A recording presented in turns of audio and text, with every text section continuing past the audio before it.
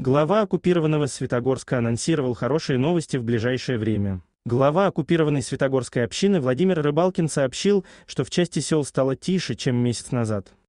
Также он анонсировал, что в ближайшее время граждане узнают о хороших новостях на этом направлении.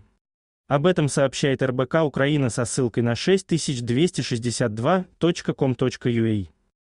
Часть административного центра находится в оккупации, а в трех поселках ведутся активные бои. Однако, по словам главы общины, ситуация контролируемая украинскими военными.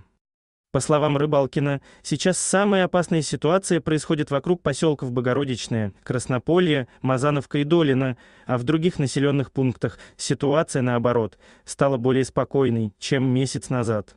Глава Светогорской военной администрации уверен, что в ближайшее время жители общины получат хорошие новости от ВСУ. Напомним, что ранее представители Главного управления разведки Министерства обороны Украины провели эвакуацию части гражданских села территории Светогорской лавры. Этот участок Светогорска находится на правом берегу реки Северский Донец и находится под контролем Украины.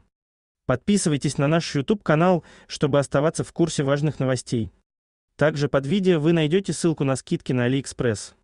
Спасибо за просмотр.